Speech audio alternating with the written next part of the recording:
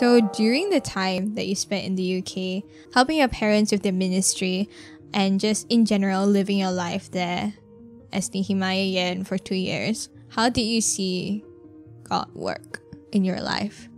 I think initially with helping out with my parents, I was kind of reluctant. Outside with doing things at our local church, I would play in the band uh, that my mom sang in, that was part of the arts release ministry. And the band would sometimes visit churches that didn't have musicians, or they would play at mission missions conferences. I was really reluctant to do these things at first. I didn't really see the point, and it was just like a, very tedious. Mm-hmm. And like the songs that we played at band, sometimes I thought they were a bit cheesy, and just weren't that great. I don't think that being like a missions kid or a missionary kid like meant that I had some really close encounter with God. But I guess in a small way, I'm kind of more open to new things Mm. because you kind of see the different things that you can do with music, with arts Mm. to reach out to people. In the band, we play a lot of multicultural songs. So there'll be songs in Hindi, or there'll be songs in Chinese, or Tibetan songs, or Turkish songs. I guess that was really cool. It broadened my perspective on what music could be.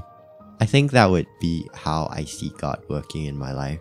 Just not being so close minded or stubborn and thinking that what I know about like the world or what I want to do in general is concrete because there's so many things that I have no idea about Mm. and if I live my life as usual and just Mm. do the things that people do and stick to what I know, I would deny myself a lot of opportunities that God provides. So, after going through all this, do you feel like you have a clearer sense of what your purpose is? I think that's something I've been thinking about a lot. Like what I would do after this, or what I want to accomplish, Mm. or what is my purpose in life. I don't think I know exactly what I'm going to do, or that has become clearer, but I guess I know now how to better adapt to changes that come. I don't think I'm great at that. I think I'm still quite stubborn a lot of times, and that if there are things that are unfamiliar, or I think, you know, are not worth doing, I often won't do it. But I think it's important for me to just take that in mind, really, and then kind of pray about it and see what comes. Because I still don't know what I'm going to do with my life. I think many of us can relate to that. I think the first step would just to be thinking about it and to ask questions because asking questions is a great way to help you find what you're looking for.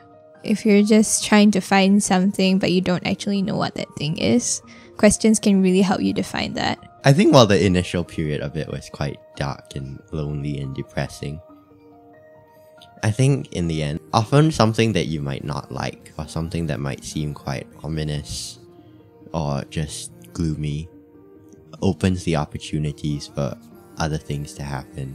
Because if I didn't move, I wouldn't have met the people that I did.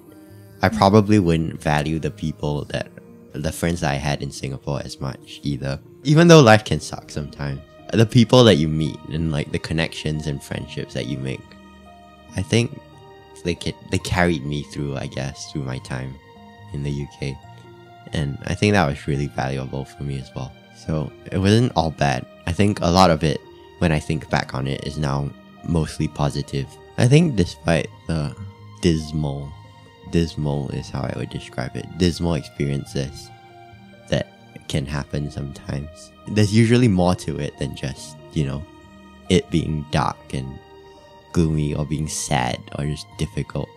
Often when you change your perspective on things or when things arise that are positive because of those experiences, nothing is always bad or just completely soul crushing. It often depends on how you change your perspective on or what you choose to do with that circumstance.